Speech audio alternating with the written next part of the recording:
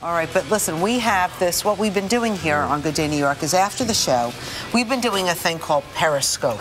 So it's like video Twitter, something like that. Uh, we're still learning the ins and outs of it. Want to bring in a tech expert. Hi, Shelly Palmer. Hey there. You're holding up Greg. your phone. I am. Um, I'm periscoping you. Well, Shelly, As, as that's we nice. all, that's that's interesting. Now, Shelly, do me a favor. Even for people who are relatively tech savvy, and that would, that would not, be you guys. We're kind of with it, relatively.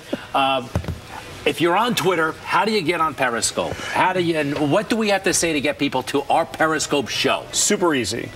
What you do is you go download the Periscope app from any app store, right? Okay. the- if you have an iPhone, go to the Apple App Store and download Periscope.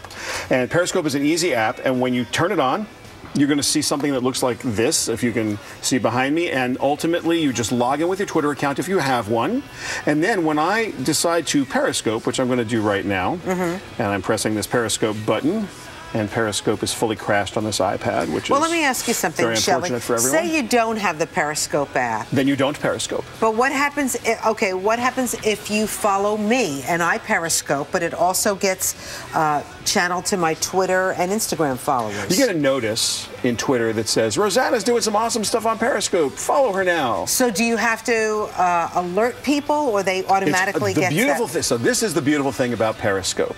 If you are a Periscope user and you decide that you are going to Periscope something, and you've got a bunch of Twitter followers, they're told that you're Periscoping. Okay. So uh, here's what they do: right. they download Periscope, and they can watch all your feed. Meet us on Periscope. I'm still a little bit confused, but that's my fault. All right, You're Shelly all right. Palmer, you're the best. I'm basically still Periscoping you right now, and I've got hundreds of followers. Fox 5 NY is where we'll be periscoping right after the show.